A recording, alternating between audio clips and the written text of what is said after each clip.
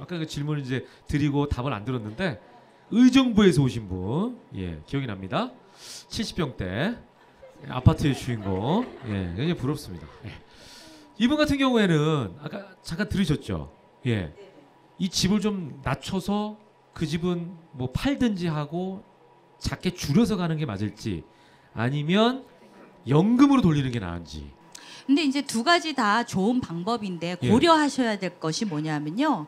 어, 사실 우리가 주거지를 옮긴다라는 거는 단순히 부동산을 옮기는 게 아니라 그 주변에 있는 나의 네트워크, 인맥들도 다 옮기게 되는 거고요. 나이가 들수록 내 동네 친구들을 많이 만들어야 되는데 음. 과연 이제 이사를 간다라고 했을 때 어, 물론 지금은 좀 젊으시기 때문에 네.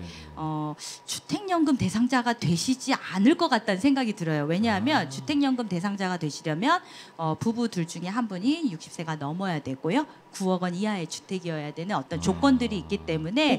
지금. 예, 네. 아직은 주택연금을 생각하시기에는 좀 젊어 보이십니다. 60세가 아직 안 되신 안 되신 분, 안. 그래서 예. 나중에 이제 주거를 가지고선 내가 은퇴 자산으로 어떻게 할까를 고민하실 때는 음. 단순히 돈의 문제보다는 과연 내가 어, 이 장소를 옮겼을 때 네. 나에게 벌어질 다른 인맥들 그리고 음. 내 라이프 스타일의 변화 이런 것도 함께 고려하셔서 네. 결정하셨으면 중요한 얘기시네요. 이분이 의정부 사신 분인데 집을 줄여온다고 의정부 집 팔고 광명시로 왔어.